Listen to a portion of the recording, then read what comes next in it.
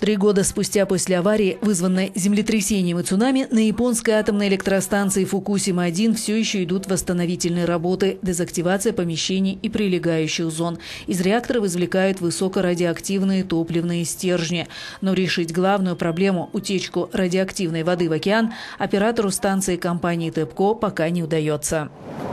ТЭПКО добилась прогресса в борьбе с загрязнением воды, но нас это пока не удовлетворяет. Нужен более комплексный, всеобъемлющий план, говорит председатель комитета по мониторингу компании ТЕРСО Дейл Клейн.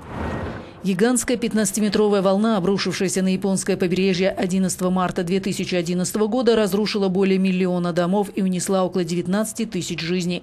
Авария на Фукусиме стала самой крупной техногенной катастрофой после Чернобыля. За прошедшие три года воздействию сильного радиоактивного излучения подверглись около 15 тысяч работников станции.